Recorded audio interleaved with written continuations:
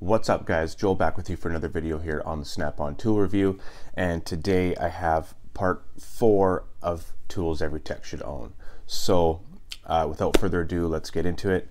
Um, today I actually picked this up, well a couple of days ago I picked it up on sale at KMS Tools. I haven't been, I have been in super need for one and it's the Universal Caliper Wind Back Kit.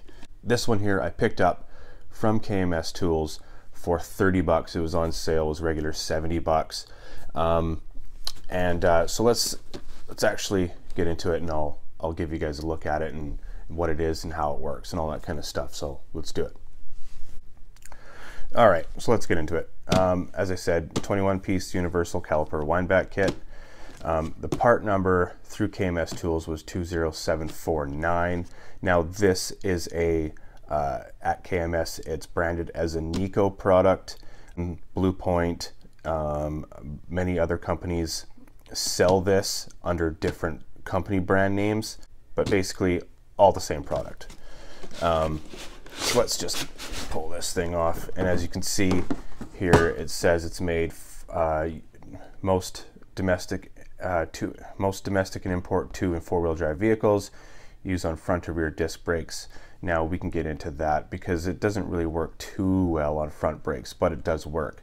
Um, includes tools and adapters for both right and left hand applications and that's why I bought this kit because it does do both. So it's pretty much covers all bases. Um, anyway, prevents damage to brake, piston, and boots. Okay, so let's open it up see what's inside. All right, so as I said, this is a master kit. See if I can get a full pan on this thing here. All right, so you guys can see that there.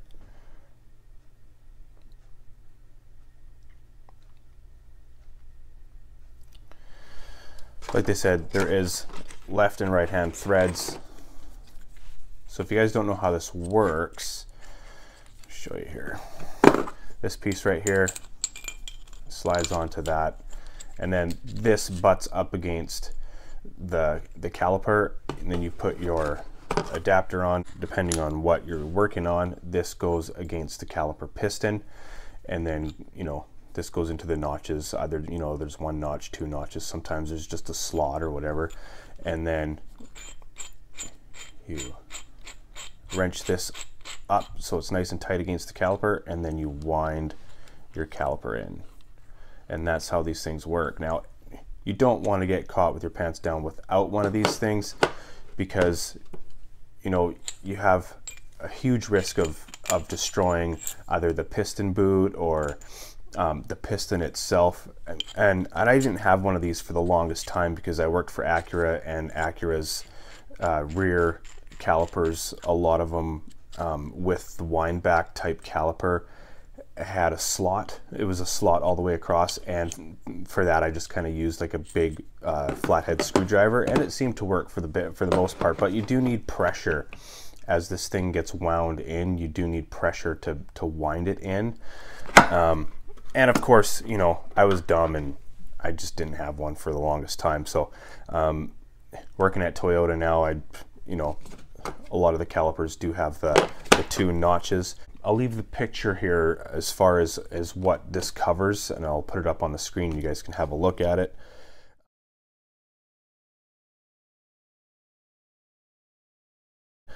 Um, this, but this pretty much covers everything. I mean, old Hondas, when was the last time you saw one of those, right? Uh, it also does include the one for uh, a 3 8 drive ratchet so you can put a 3 8 drive extension and a ratchet on there and you just wind it in with with the ratchet and that one's great. So um, like I said it pretty much covers everything.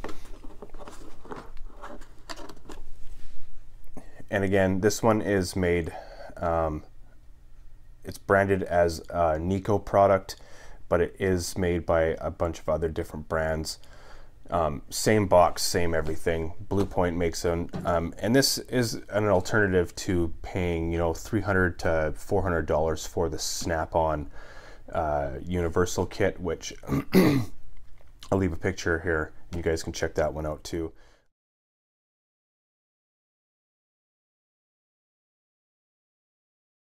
So anyway, yeah, I mean, great, great buy, 30 bucks. I'm going to leave a link on uh, in the description for Amazon, and you guys can check out the ones there. They do sell a couple of different ones, um, a couple of different variations on this kit, and uh, I mean they range from like 24 bucks to 45 bucks or something like that. So have a have a look, check it out. If you guys don't have one, definitely definitely pick one up. Um, it'll be a lifesaver, and you guys won't kick yourself in the ass for buying it. Anyway, guys, just thought I'd share this with you tools every tech should own by now. So if you haven't already, uh, leave a like, comment, subscribe, and uh, share the video. Um, everything helps. You guys rock. Peace out. We'll see you in the next video.